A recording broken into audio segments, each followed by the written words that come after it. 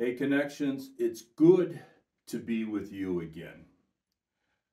Now, we're going to begin a new series, but before we get into that, let me ask you a question.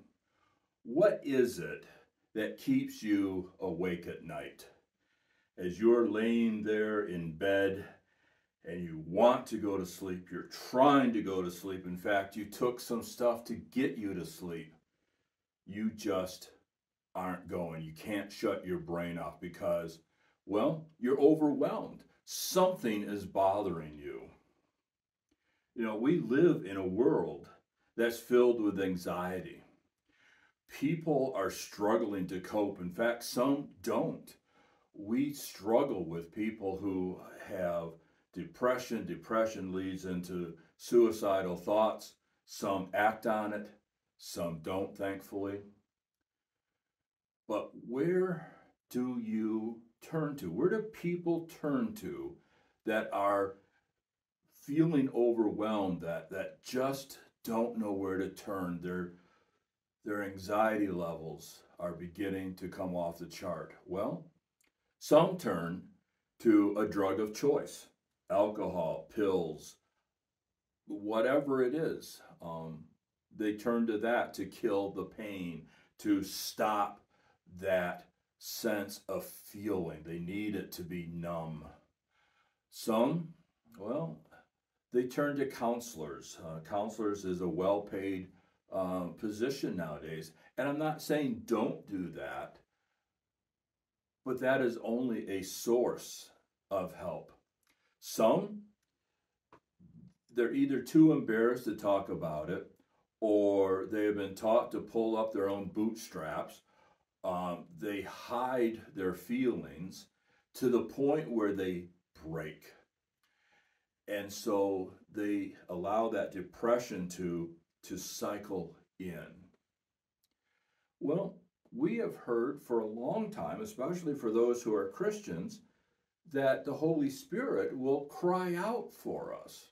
Haven't we all heard, oh, just turn to prayer or I'll pray for you? Let's be honest. Even Christians struggle with that. We have uh, conflicting ideas.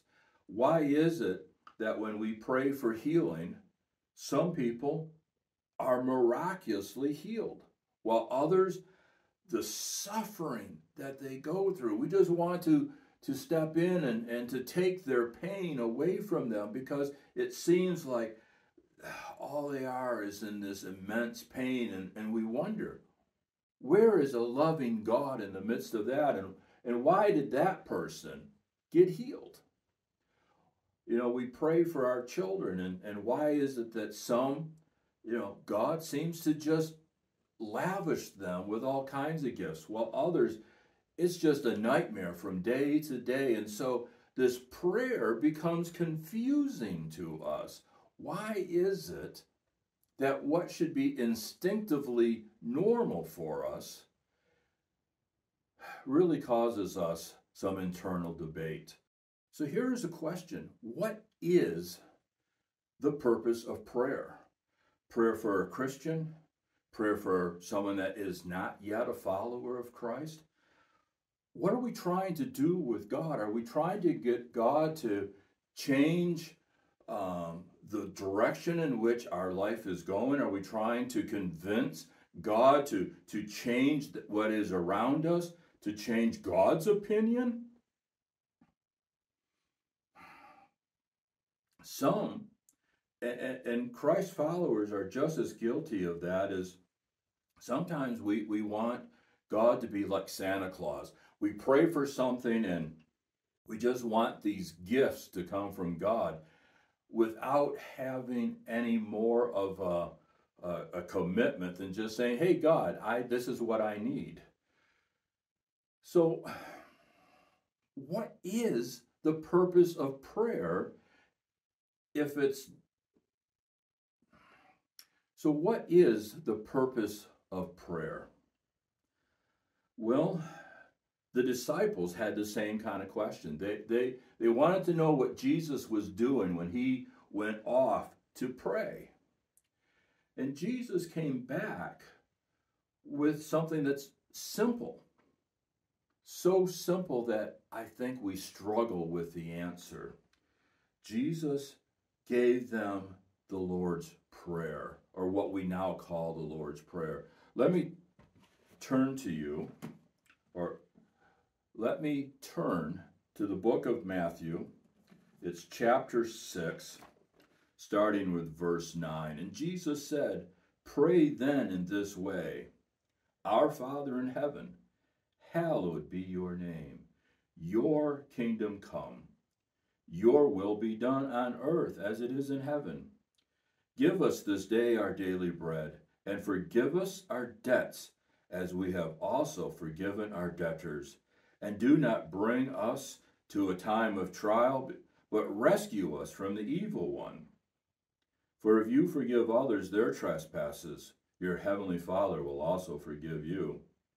But if you do not forgive others, neither will your Father forgive your trespasses.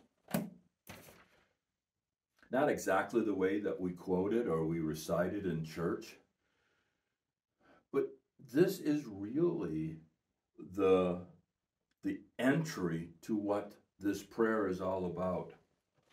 Years ago, I was asked this question uh, by an organist in one of our churches. And she said, We say this prayer all the time, but what does it really mean? Well, I took time and, and, and I wrote a book. I encourage you to, to go onto Amazon and grab it as well. And it is a common prayer for a common person. So the Lord's Prayer is seen through God's heavenly mansion. Over the next several weeks, we are going to take this prayer, break it down into uh, small bites which we can handle, and we're going to use the backdrop of a mansion or a home for us to begin to have a visual connection to it. But before we get there, let's let's begin to really understand prayer. Prayer is nothing more than a conversation with a friend. We, we overcomplicate it. We try to come up with, with systems. We come up with a formula. We come up with, with some basically how to. Some Christians are really good at learning how to pray. But the question is, why to pray? So we need to let Jesus set a pace for us. And this pace is found in this prayer. See, the problem is we get sucked into the idea that if we pray the Lord's Prayer, we've done it. But we have to understand the Lord's Prayer. When we understand it, I believe that our questions of why to pray will become answered. So let me say this if you're new to the faith or if you are yet be, seeking to become a follower, cry out. That's, that's a place to begin, is, is to let your spirit cry out to God's spirit. But don't leave it there. Don't, don't just ask God for something. Prayer is a conversation, it's a two way street. So, how do we hear God? Well, we hear God through Scripture, we hear God through conversations with others, we hear God through a counselor, we hear God through music, through nature. God is constantly communicating with us, but we need to slow down. Take some deep breaths and don't get ahead. Reminds me of a, of a little story, and, and it's a personal one. Years ago, I was in school and I was in training to be a, a, a camp director. And we would often go out on hikes and there was one individual and and his mission was to get to the end and and he just he, he ran through the woods and he would get to the place of camp and he'd set up camp.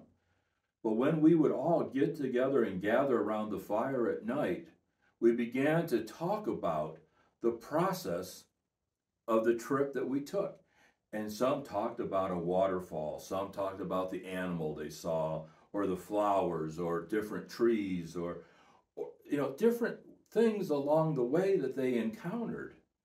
And they turned to this young guy and they said, What did you see? I don't know. I wasn't focused on anything. I was just trying to get here. Well, that's, that's what it is with our prayer. Slow down and begin to notice the things that are around you. What is God saying to you through what is around you? So, with that, let's pray. Let's get ready for next week where we're going to look at our Father, which is in heaven. So let's let's pray. So it is God that we come to you today seeking to understand this this power of prayer and what it means to have our spirit commune with your spirit. How does that work? What is the mystery that we can find in these moments? Open our eyes. Open our hearts so that we can see you, so that we can get a glimpse of what this whole relationship is all about between us. Draw us closer. Draw us closer each day, we pray. We put this into your holy name.